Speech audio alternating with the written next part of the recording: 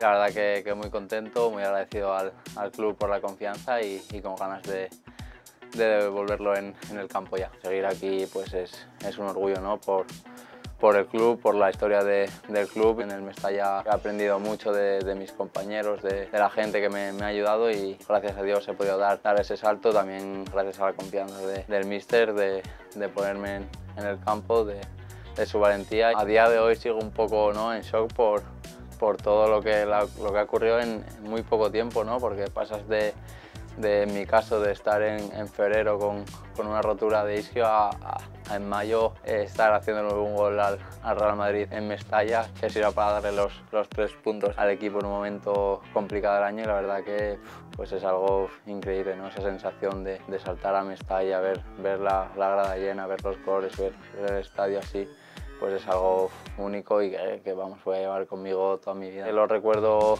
pues claro, tu primer gol en Primera División, en Mestalla, el año del, centenario de, del estadio. Lo importante era ayudar al equipo, creo que los tres goles que marqué sirvieron para dar puntos al equipo y bueno, pues al final mi objetivo era, ayudar en, esas últimas jornadas y la verdad que, su valentía de, poner a, a, chicos jóvenes en el campo sin apenas experiencia pues dice mucho de, de, su carácter y que gracias a él pues hoy estoy aquí ¿no? y la verdad que siempre voy a estar muy agradecido.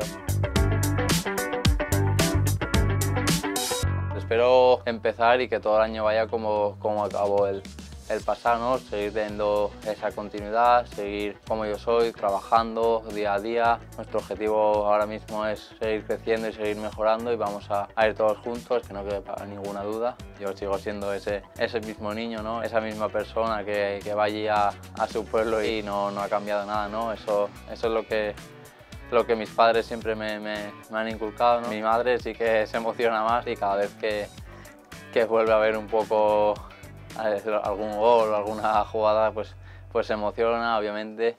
Mi padre también, pero se lo guarda más para él y sí que me dicen que no deje de hacer lo que he hecho hasta ahora, que siga trabajando.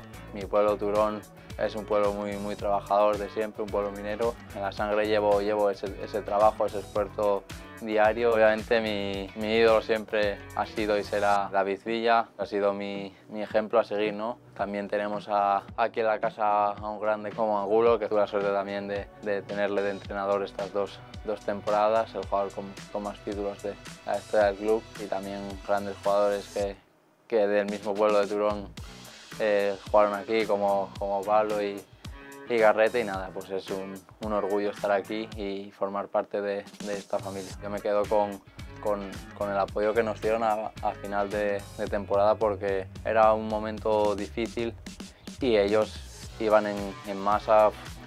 Cuando fueron a, a, Elche yo salí allí al campo y me quedé flipando toda la grada, era increíble. Luego el desplazamiento acá de Celta en, Mestalla era, era, un fortín, la misma gente te, contagiaba, estoy seguro que fueron ellos los que hicieron posible que sacáramos la situación adelante.